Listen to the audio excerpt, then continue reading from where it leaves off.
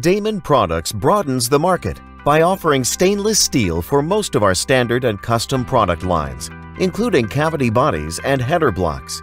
Its strength, durability, and excellent corrosion resistance make it the optimal choice for subsea, marine, mining, oil and gas, washdown, semiconductor, agriculture, and food industries.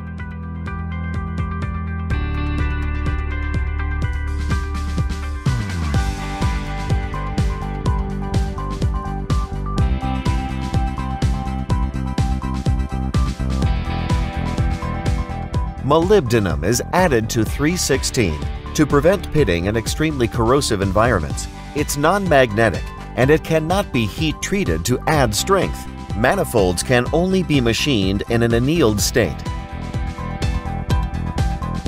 304 is the most common stainless steel in use today. It's similar to 316, except that no molybdenum is added. 304 has good corrosion resistance, better toughness, and abrasion resistance. Like 316, it's non-magnetic.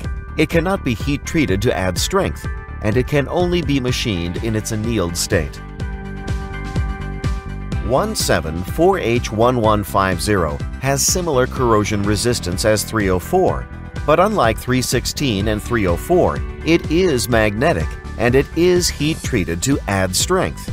This stainless steel won't lose its strength in high temperatures, it's what allows us to hit higher hydraulic pressure ratings of up to 5,000 psi. This stainless steel is used mostly in aerospace, chemical and petro industry, and food processing.